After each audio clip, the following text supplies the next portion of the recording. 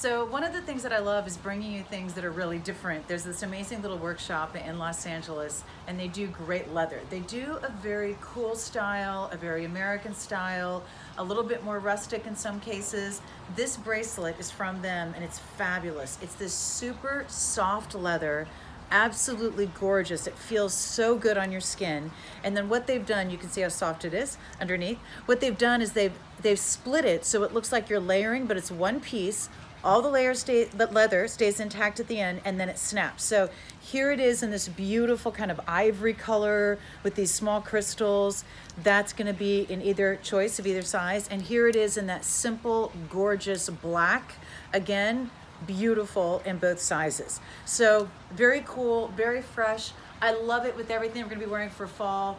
All the bulkier fabrics. I love when you're going out in the evening and you wanna have something a little bit cooler on when it comes to accessories. This is definitely that. These are so cool, so fresh, and so different. I knew that you would love them.